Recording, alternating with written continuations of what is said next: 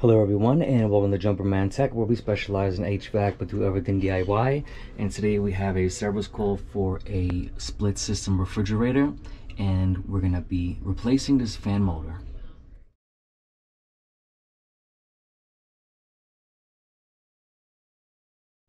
Thank you to everyone tuning into Jumperman Tech. During our last visit we installed on these two identical refrigerators. They're made by Perlick. We installed digital controls. Oh, look at that at 40 degrees. That's a beautiful thing. Also, we added BX. It was just like a piece of extension cord here. It was a real mess. Anyways, we did the same for this one. You see it's on the side. And when we started it up, we noticed that the fan motor was humming and it was bad. So we ordered the original evaporator fan motor from Perlick themselves. If anyone is interested, the model number is BBR 24-0 maybe it's a zero.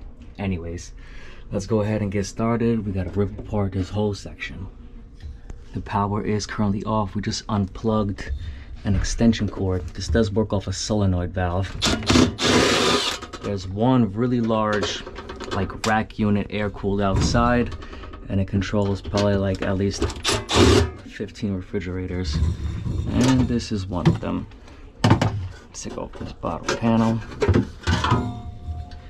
I've got a drain line here, got our solenoid valve, expansion valve, and we're gonna have to try to get in here somehow. So let's see, let's keep this everything inside the box. Could use a little cleaning afterwards too, to be honest with you. We will need to take out this drain actually. So this here is the condensate pan. That out. if we even can to be honest with you. That we just might be able to just drop down slightly. Because all this is in our way the electrical. Let's see there's a little switch here actually. This panel probably got to come down so we could bring this panel down see a 516 there some 516s on the sides and that should be able to drop. This might be in our way. This is a tricky little spot to change this little fan motor in. You know what? I'm gonna take off this cover. Can I pull it out through here? It's supposed to be an easy thing, and it's nothing but.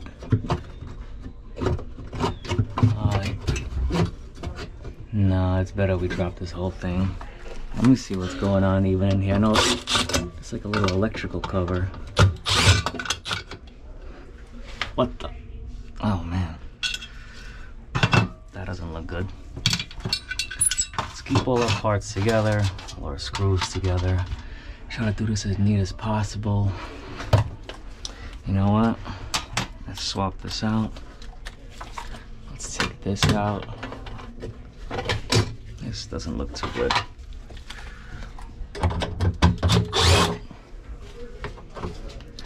Okay. Take that out. And this one. Let's see what we can do. Can this come apart without that little thing over there? This is in our way. Everything's in our way. That extension cord though, what the heck is that? Alright. This thing is gonna gotta come down. This electrical stuff, let's push that in. What a mess. Push that in. All right. It goes like this, let's remember. That two screws I took out, looks like it holds, it will hold the motor bracket for this and the cover. So this is it. This thing is really, really dirty. I'm gonna try to reuse this fan blade. Let's see where these wires are, man. This is a 120 volt motor. We should just have two wires connected. Let's see. Uh, anytime you do refrigeration, you're gonna wanna wear some plastic gloves. This stuff is a mess. Yeah, I see the two wires right here. Oh, it's like jammed in here too. What the heck? Why is that in there? Anyways, going to be these two here. This is nothing that just kind of just goes through. Boy, they tie this thing around. oh boy. hold up, this is the exact one, so let's put it in the right position. And let me take that off right now. So we got two screws holding it. We would put it in these two, which is threaded. Let me take that off and do just a little, little neat. Let's get this motor out. Get it out the way. And just mount the new one. And we figure out what's up with these wires. What a, what a little mess. Make sure we have everything the exact same way. Alright, hold up. Can't even get this thing out of here. Anyways, go like this. Here's that motor. And let's put this bracket back together in the same way. Put one screw here. Alright. That is hand tight. And then one screw here. And we could figure this whole thing out. Where are they going? Somewhere in this mess. There's a lot of wires in here. For like no reason. Anyways. Done. Done. That's nice. And where are these two wires going? All the way up here. Okay. Little plug-in type right here. Could take that out. Jeez, why do they do all this? They just went crazy with this thing. That's one, that blue connection. And then who's the next wire? It's just a mess. It is just a mess. I Gotta take this tape off. This is for a heater, it says. See, where's that other wire go?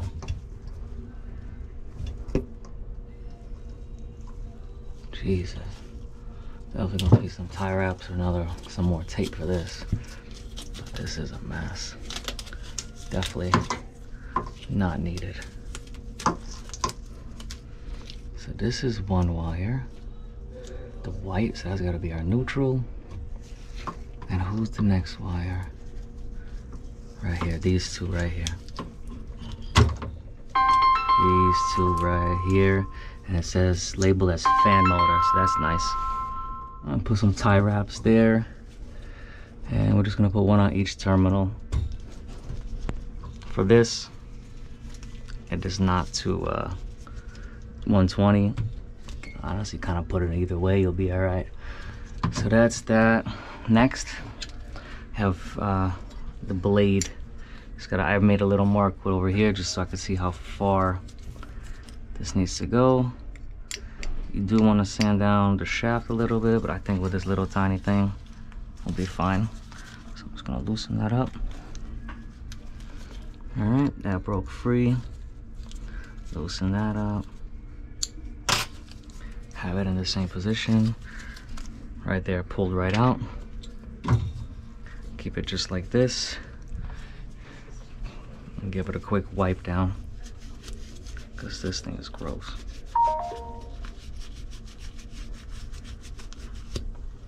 If you can look on the shaft over here we have a little marking. And that's where the blade goes. So this blade doesn't have any flat points it's all round. So we're just gonna eyeball that a little bit and tighten down the shaft also use a measuring tape, whatever. Be alright.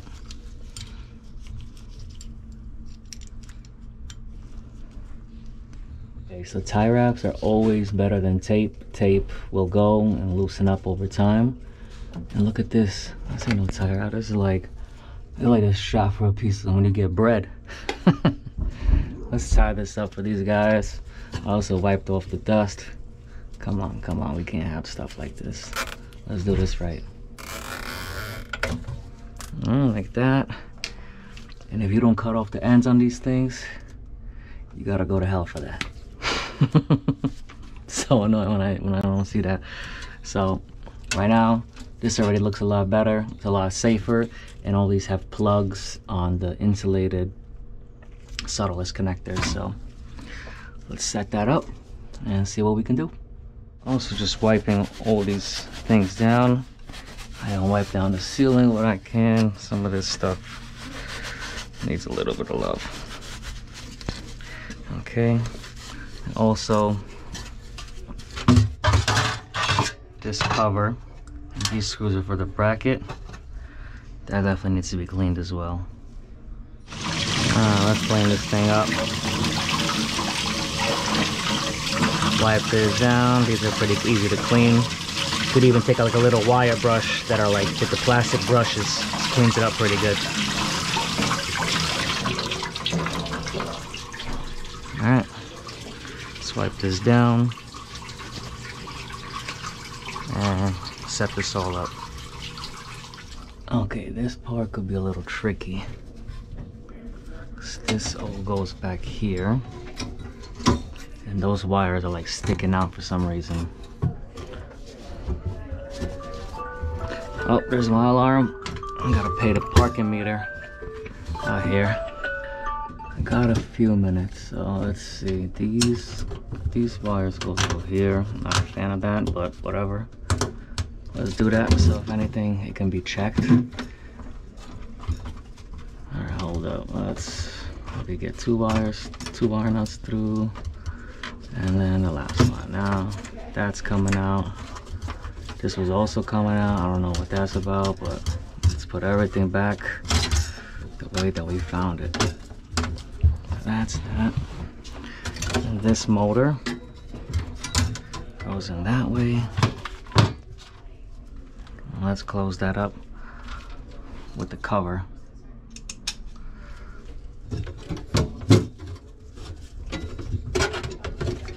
Little tricky to do. Come on. It's caught up. Let's set this up.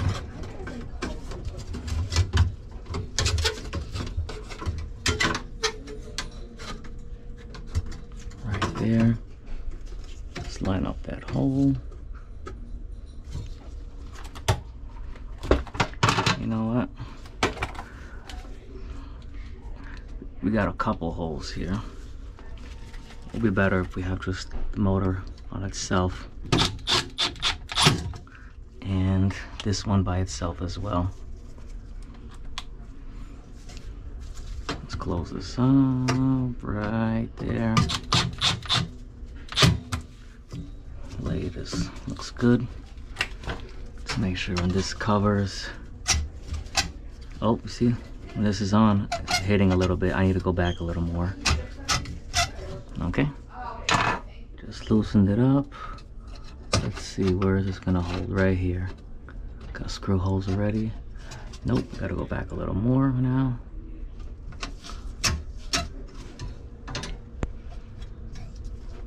Can I even go back a little more? Right there. What is up with this? Maybe they were using different holes because that doesn't line up nicely. Hmm, maybe. Let's adjust this thing. Okay, this is adjusted nicely. And now this can go as well with the cover. I'm gonna have to use some new holes here. Actually, let's see. Maybe we could use these two screws because it's the same as the motor bracket. And from there, we'll have our cover back on and I could just zip some screws for the other one. Cool. Now, right there, that looks good. Now, if you ever want to clean the cover, you could just pull it out and you're not going to disconnect the motor because then you're going to drop this whole thing again. Let's try to get it in place. This honestly might become a problem with one more tie wrap here. And I just realized this thing is basically just like sitting in the condensate pan. That's not cool. Just let this be. Hold up. But definitely don't like this and those, those wire nuts there. I think it's kind of ridiculous. Anyways, let's just get this thing in here. Oh, look at this extension cord just goes right in the water. Dear Lord. What the? Who installed this? Oh yeah, Miracle, that's who. let's try to get this thing in here. Oh man, I might need to go in this way first. Trap that a little. This is a bad setup, man. I probably gotta take this off to put this back because now I because now I got the motor on. Hmm. Unreal. Make it this difficult for no reason. It's usually one, two, three. One, two, three. Oh, I got the light inside there. Alright. Let's figure out this.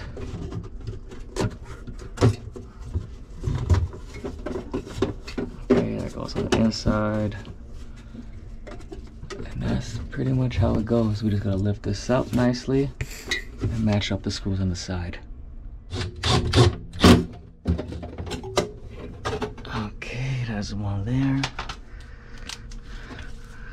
Let's get one on this side. This extension, oh, this thing is such a mess. Where are these screws? But pretty much gonna put some screws in, and this thing should be good to go. Alrighty.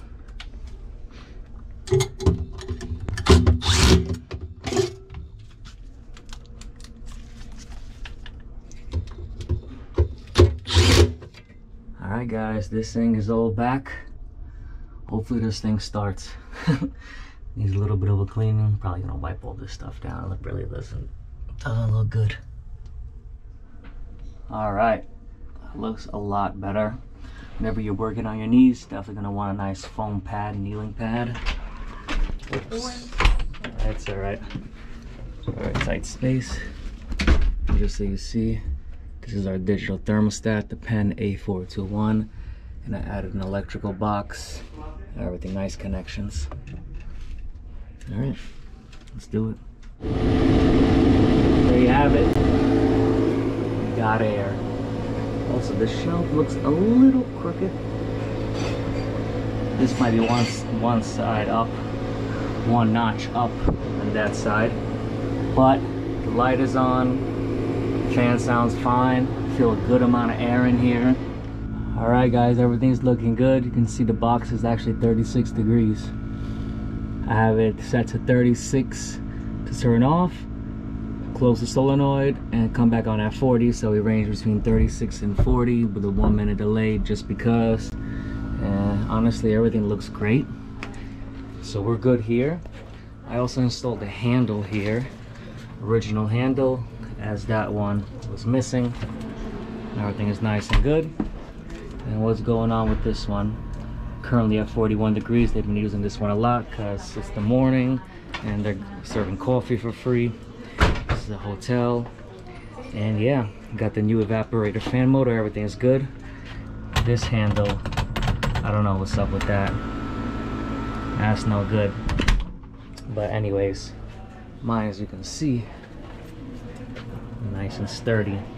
All right, so that's that. It is what it is. Reading good temperatures, units are working, fans are working. We can actually open them properly. And we're gonna wrap this one up here, guys. If anyone found this video interesting or helpful, please drop a like, comment, and subscribe I come out with new videos every week. And I'll catch you all next time.